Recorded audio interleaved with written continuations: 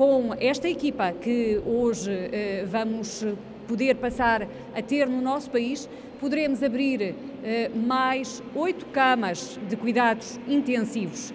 Para alguns poderá parecer pouco, mas quero-vos dizer que é muito. É muito, sobretudo, para um sistema de saúde que está a sofrer uma elevada pressão e onde os próximos dias serão os dias mais significativos. Esta equipa que eh, hoje chega ao nosso país permitirá assegurar completamente essa resposta dessas camas e ser uma garantia de mais uma unidade de cuidados intensivos aqui na região de Lisboa e Val do Tejo.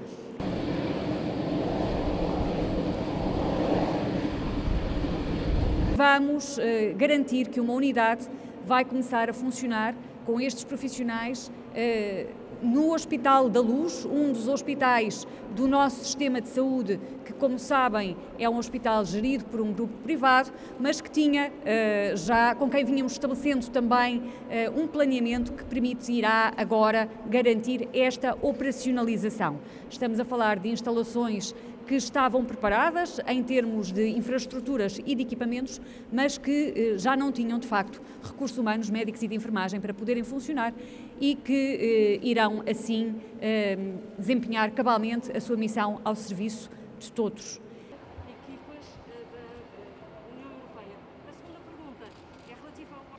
This is the initial medical support team They are due to be rotating with another three weeks um, of incoming team in 21 days.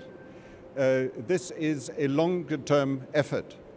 They have one mission to work side by side with Portuguese doctors fighting the pandemic.